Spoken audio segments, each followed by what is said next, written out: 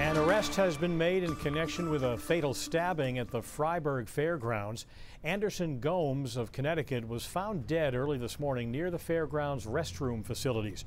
Police have arrested Carlos Negron of Connecticut and charged him with murder. We should learn the cause of death from the medical examiner's office in the next few days.